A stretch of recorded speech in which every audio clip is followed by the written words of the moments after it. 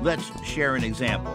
If you start with 25 pounds of fresh avocados and throw away 45% from the pit and skin, then you really have 13.75 pounds. If you use the remaining 13 pounds and then lose another 20% due to browning, then you really have 11 pounds. If your 25 pound bag costs $50, but you really have 11 pounds of usable product, then you really paid $4.55 per pound.